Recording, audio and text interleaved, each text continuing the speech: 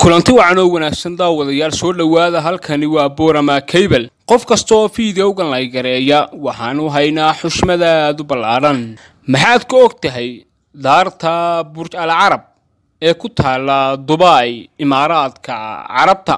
Daartani ayaa waxaa ku taalla mid ka mid a qolalka ugu qaalisan adduunka oo halkii habeen lagu seexdo afar iyo labaatan kun oo doolarka maraykanka. Weligaa ma ku riyootay inaad u noolaato hal habeen sidii boqorada.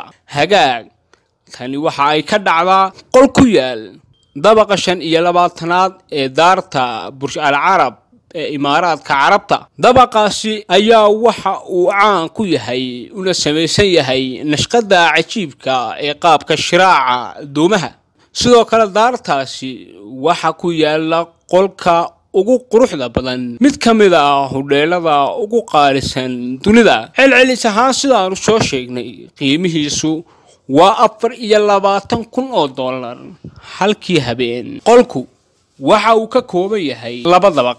Isla markii aad gudaha u gasho qolkaasi ku yaalla daarta burj al carab ayaa waxaa lagugu salaamayaa laguna soo dhoweynayaa jaranjarooyin ka samaysan dahab. Qolkaasi waxaa ku yaalla tiirar waaweyn oo lagu dahaaray dahab. Qiimihiisu ka kooban yahay labiyo labaatan karaad runtii.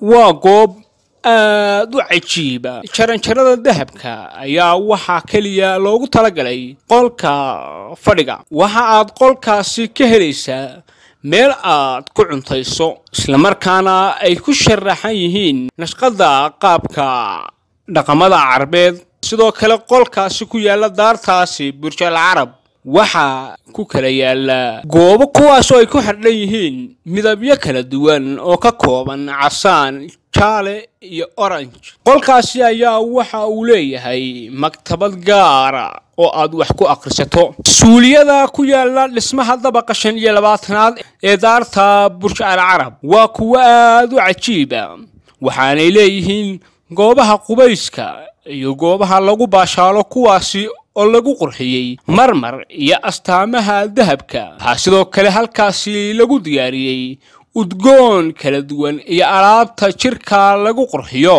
Sidoo kale barkimo iyo kuraas ayaa lagu diyaariyey. Hareeraha musqusha qofkuna uu iskaga nasan karo.